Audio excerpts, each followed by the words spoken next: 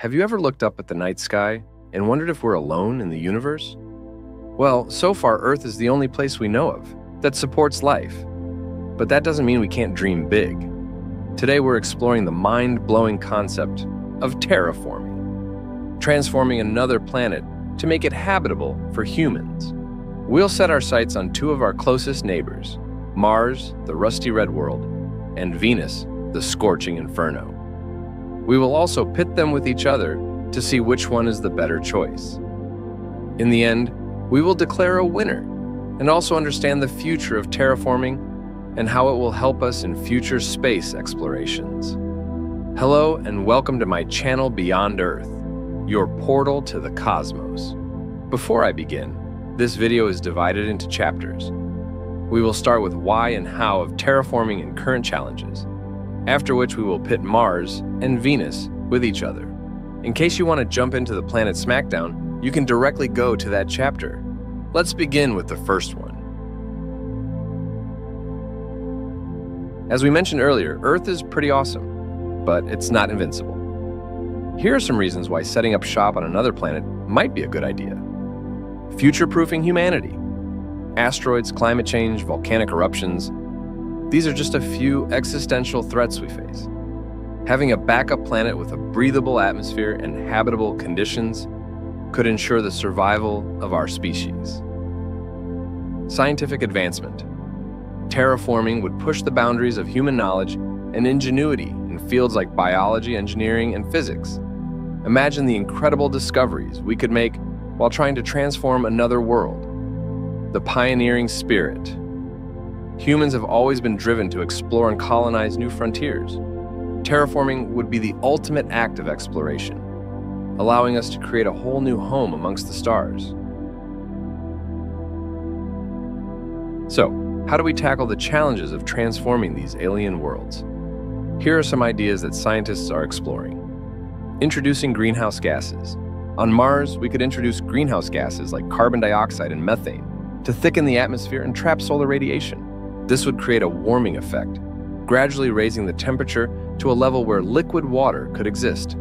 Mining ice, extracting water ice from the Martian poles or underground reserves would be a priority. Water would not only be a valuable resource for human life and plant growth, but it could also be electrolyzed to produce breathable oxygen, giant sunshades. For Venus, the challenge is to reduce the amount of solar radiation reaching the surface. One idea involves deploying giant sunshades in space at a special point between Venus and the Sun to block some of the sunlight. Genetically engineered plants, introducing specially adapted plants that can thrive in the harsh conditions on Mars or Venus, could be crucial. These plants could help produce oxygen, remove carbon dioxide from the atmosphere, and even create organic material to enrich the soil. Terraforming sounds like something straight out of science fiction, and that's because it pretty much is. Here's a deeper look at the hurdles we'd need to overcome. The technology doesn't exist yet.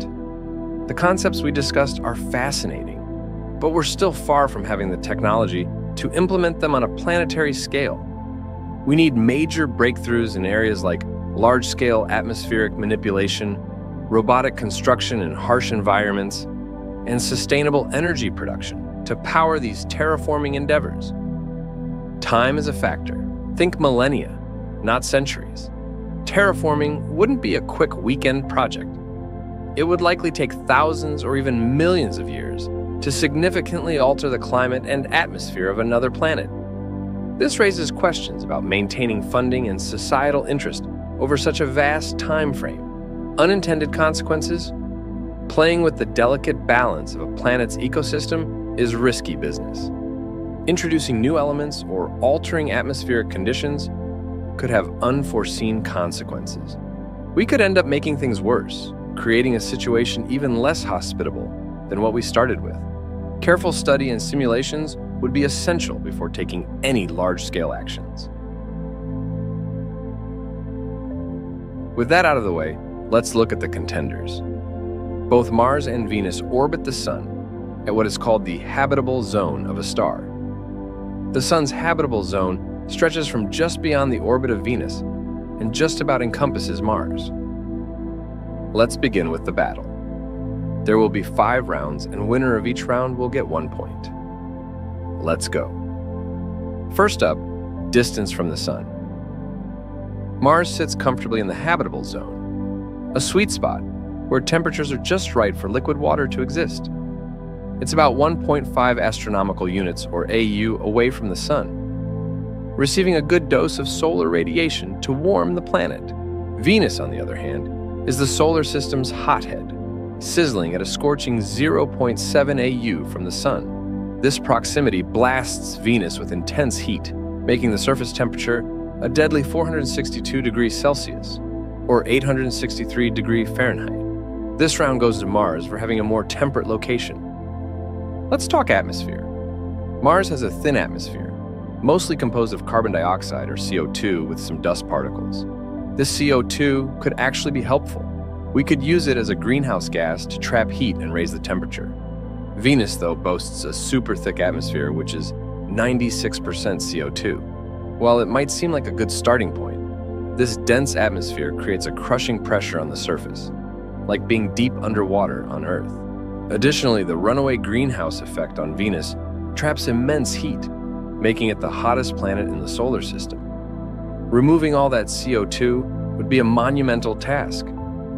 This round goes to Mars again for having a more manageable atmosphere. Here's a twist Venus is a heavyweight champion compared to Mars. It has about 81% of Earth's mass, while Mars is a lightweight at just 15% of Earth's mass. This mass difference translates to gravity. A planet with stronger gravity can hold on to an atmosphere more effectively. While Mars would need some help keeping its atmosphere from being blown away by solar winds, Venus's gravity wouldn't have much trouble retaining a new, thinner atmosphere. This round goes to Venus for its advantage in gravitational muscle. Day length is important for life as we know it. Here, things get weird. Mars has a day cycle very similar to Earth, with a day lasting about 24.6 hours. This means a familiar cycle of light and darkness for any potential life forms. Venus takes the cake, or should we say the rock, for the strangest day length. It takes Venus a whopping 243 Earth days to rotate on its axis, which means a single day on Venus is longer than its year which is only 225 Earth days. Imagine a sunrise that takes over two months. Not exactly ideal for life.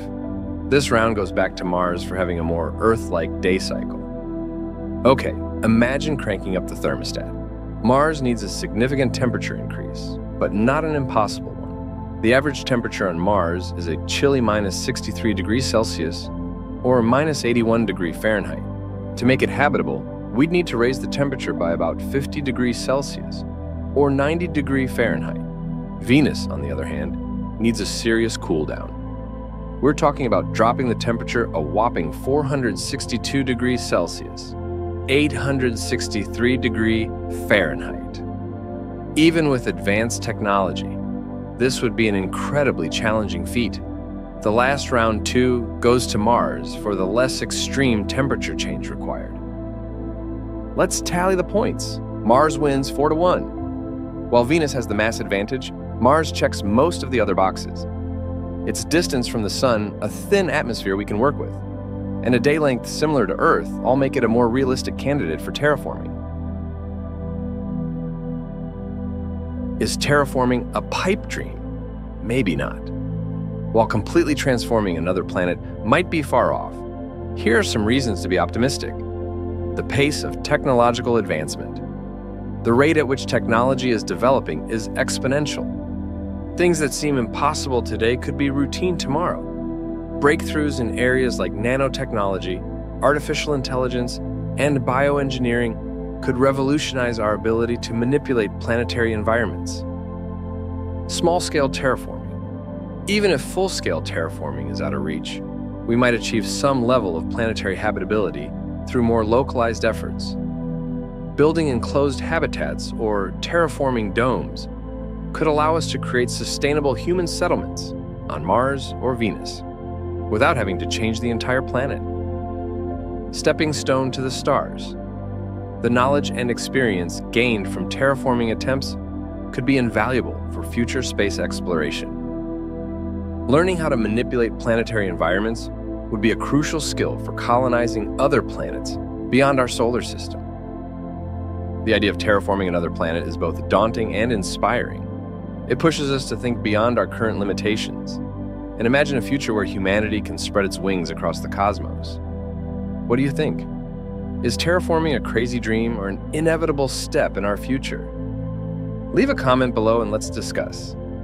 Don't forget to like and subscribe for more space adventures.